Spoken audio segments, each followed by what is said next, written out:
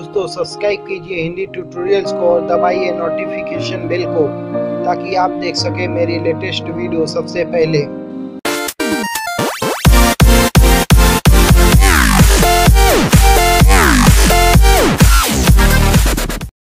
Hello guys मैं हूँ आपका दोस्त नमर और मैं आपका हिंदी ट्यूटोरियल्स में स्वागत करता हूँ। तो सबसे पहले मैं किशन सर को धन्यवाद देना चाहता हूँ कि उन्होंने इस वीडियो को अपने चैनल में पब्लिश किया। और वीडियो को शुरू करने से पहले आप हमारे चैनल को सब्सक्राइब कर लीजिए। नीचे आपको रेड सब्सक्राइब बटन दिख जाएगा, जिस पर आप क्लिक करके हमारे चैनल को सब्सक्राइब कर सकते हैं।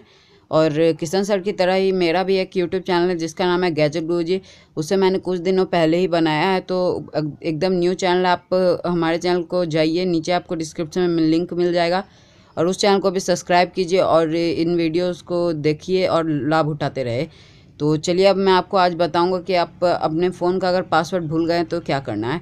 तो सबसे पहले तो हम आपको बताना है कि आप अपने मोबाइल का क्यों फॉरवर्ड पासवर्ड कीजिएगा। तो हो सकता है कि आपके घर में कोई छोटा बच्चा हो जिसने गलती से आपके फ़ोन में पासवर्ड डाल दिया और अब उससे याद नहीं है। हो सकता है आपने ही कुछ दिनों पहले पासवर्ड डाला था और आपने इस मोबाइल को यूज़ नहीं किया और आपने पासवर्ड भूल गए हैं या फिर कोई दूसरा रीज़न भी हो सकता है। तो आज मैं आपको ऐसे दो वेज बताऊँगा जिससे आप यह चीज़ को कर सकते हैं। तो इसमें आपका एक भी डेटा लॉस नहीं होने वाला, आपको चिंता करने की ज़रूरत नहीं है। और आज मैं आपको दो वेज बताऊँगा जिसमें पहला रहेगा ईमेल के द्वारा और दूसरा रहेगा आपको एरोमा फ़ाइल मैनेजर से करना पड़ेगा अपने मोबाइल को रिकवरी मोड में ले जाकर तो चलिए अब मैं आपको बताऊँगा और दोनों स्टेप्स आपको ध्यान से सुनिएगा और इस वीडियो को लास्ट तक देखिएगा। ताकि आपको कुछ बीच में प्रॉब्लम ना हो, यह बहुत ही ईजी प्रोसेस है। और कुछ दिनों बाद मैं आपको, अगर आपके मोबाइल में यह दोनों प्रोसेस काम नहीं करता तो आपको मेरे चैनल पे एक वीडियो मिलेगा।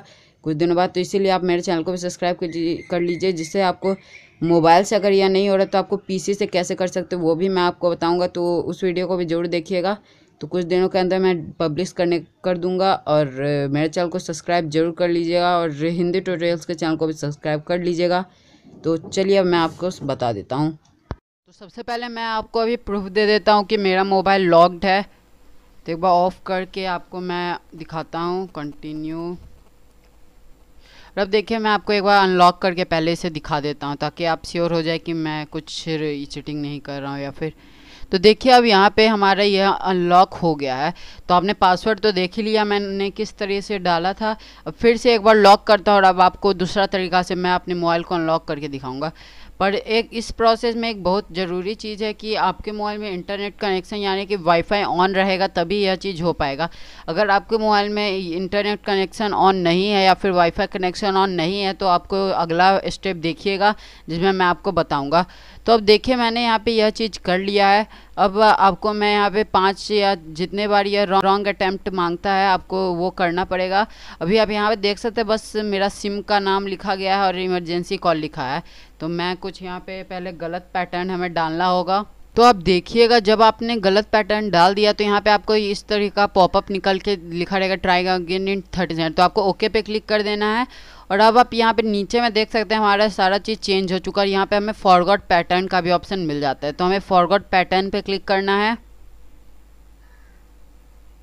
और आपको यहाँ पे अपना जो ईमेल आपके मोबाइल में रजिस्टर्ड है, उस ईमेल को या फिर रजिस्टर्ड है या फिर और उसका पासवर्ड यहाँ पे टाइप कर देना है। आपको कुछ भी घबराने की ज़रूरत नहीं है या इसमें कुछ भी आपको बाद में परेशानी नहीं होगी। जब आप यहाँ पे अपना पासवर्ड टाइप कर देंगे तो आपको यहाँ पे साइन इन का ऑप्शन मिल जाता है। तो आपको इस पर क्लिक कर देना है। तो देखिए, अभी आपका अकाउंट को चेक कर रहा है कि आपके मोबाइल में कौन सा अकाउंट है। और आप आप देख सकते हैं कि ये हमारा मोबाइल सक्सेसफुली अनलॉक हो चुका है। तो देखिए, काफ़ी इजी तरीका है। सबसे इजी तरीका आपको यही मिलता है। इससे इजी तरीका आपको कहीं नहीं मिलेगा।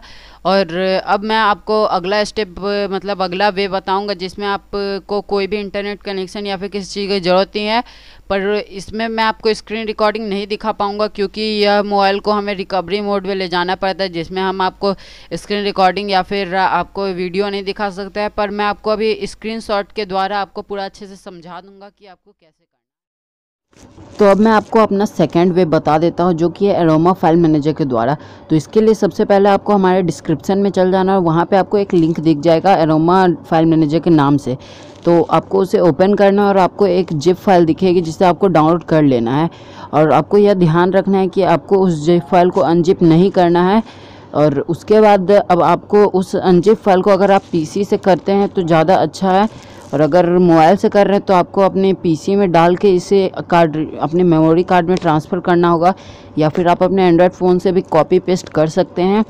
तो उसे आप अपने एसडी कार्ड में डाल दीजिए। उसके बाद हमारा थर्ड स्टेप आता है, जिसमें कि हमें अपने मोबाइल को ऑफ़ करना पड़ेगा। तो अपने मोबाइल को स्विच ऑफ़ कर लीजिए। उसके बाद आपको बहुत सारी की मतलब कि अगर आपको पता है कि आप अपने मोबाइल को कैसे रिकवरी मोड में ले जा सकते हैं तो आप के लिए आसान रहेगा। और नहीं जानते तो आप अपने मॉडल का नाम या फिर मोबाइल का नाम आप लिख सकते हैं। गूगल में और सर्च कर सकते हैं। तो वो आपको बता देगा कि आपका क्या की कॉम्बिनेसन है। तो उसके बाद जब आप अपने रिकवरी मोड में आ जाएँगे तो वहाँ पे आपको बहुत सारे ऑप्शंस देखने को मिल जाते हैं। तो उन ऑप्शंस में आपको नीचे जब आप आपको, यहाँ पे आपको वॉल्यूम की से आप ऊपर नीचे कर सकते हैं, ऊपर वाले से ऊपर जाएगा और नीचे वाले से नीचे और और पावर ऑन ऑफ़ बटन से आपका वो सेलेक्ट हो जाएगा। तो आपको यहाँ पे एक ऑप्शन दिखेगा install zip from SD card तो आपको उसे सेलेक्ट कर लेना है। मतलब कि आपको वहाँ पे नीचे वाले की से जाना है और पावर ऑन ऑफ़ बटन से सेलेक्ट कर लेना है। उसके बाद आपको एक एरोमा फ़ाइल मैनेजर जहाँ पे आपने इसे सेव किया था अपने एसडी कार्ड में, उससे आपको जाना है उस जगह पे। और उसे आपको सेलेक्ट कर लेना, उसी तरीक़ा से पावर बटन को दबा के। और अब उसके बाद आपको यहाँ पे वह फ़ाइल खुल जाएगा, जिसमें आपको सबसे पहले डाटा को सेलेक्ट करना है, नीचे जाके सिस्टम और उसके बाद आपको यहाँ पे गेस्टर्स की दिख जाएगा। तो आप जब गेस्टर्स की को देखेगा तो आपको उस पर क्लिक करना और आपको मेनू पे क्लिक कर देना है। उसके बाद आपको यहाँ पे डिलीट का ऑप्शन मिल जाएगा। तो आपको डिलीट पे क्लिक कर देना है तो आप देखिएगा कि यह आपका पासवर्ड हट जाएगा। मतलब कि जब आप अपने मोबाइल को री फिर से ओपन कीजिएगा तो आपका मोबाइल में पासवर्ड रहेगा तो कोई बात नहीं, पर वह पैटर्न हट जाएगा। और अगर नहीं हटता है तो आप कोई भी अपने मन से कोई भी पैटर्न कुछ भी डाल दीजिएगा तो वह ओपन हो जाएगा। तो आपको इसका चिंता करने की ज़रूरत नहीं है।